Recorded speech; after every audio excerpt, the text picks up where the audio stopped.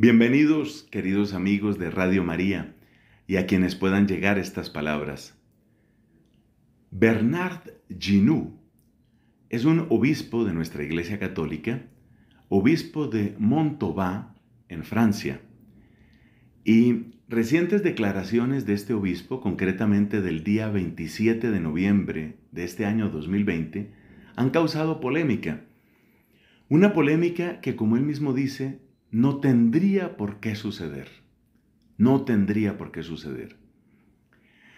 Básicamente de lo que se trata es de algo que hemos observado en muchos países, porque realmente tiene que ver con el nuevo orden mundial. Y es que para los temas de iglesia y de práctica de la religión se utilizan estándares distintos a los que se utilizan con otros sectores, otras áreas, otras actividades de la sociedad. Voy a dar un ejemplo de Colombia y luego nos devolvemos al caso de Francia. Resulta que en Colombia, para asistir a la Santa Misa, las personas tienen que llenar toda una serie de trámites que son vigilados estrictamente. Por ejemplo, tienen que inscribirse previamente, lo cual supone una cierta incomodidad. Y esa incomodidad no se da si la persona va a un centro comercial, si la persona va a una tienda o va a un restaurante.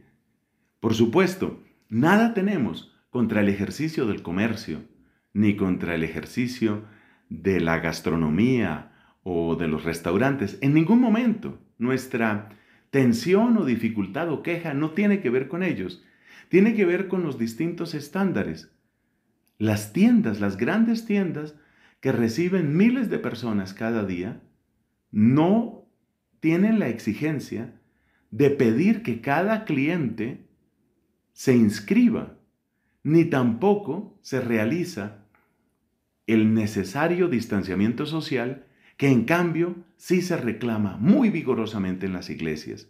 Esto es lo que hace ver este obispo y no es el primero que habla con esa claridad. Pero lo que es notable del obispo Ginoux de Montauban, repito, es que él ha invitado a sus fieles a que aparezcan, a que lleguen a la iglesia. De hecho, ha utilizado un término sumamente fuerte. Dice, les invito a que invadan las iglesias a la hora de la misa. Efectivamente, en Francia se ha puesto una cota superior, un límite superior de 30 personas para asistir a la misa, sin importar el tamaño de la iglesia. Claramente es una injusticia. Claramente no es el mismo estándar que se aplica en Francia para otro tipo de actividades propias de la vida humana.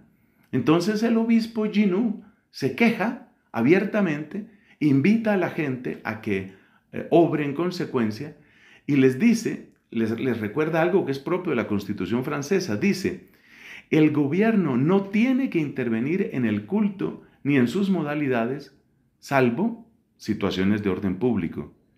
Eso es propio de la Constitución francesa. Y luego dice, la presencia de fieles en una iglesia no es en sí mismo un desorden público.